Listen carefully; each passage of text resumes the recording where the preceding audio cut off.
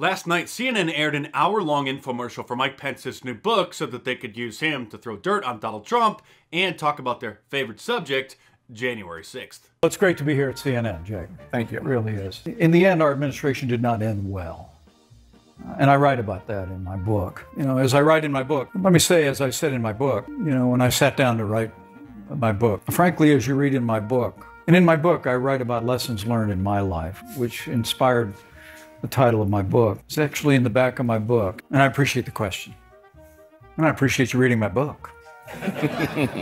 I mean, in my book, I talk about why I'm grateful for the opportunity to be on CNN today. And so my hope is to those people that might still wonder why we did what we did, um, I hope that they'll read this book.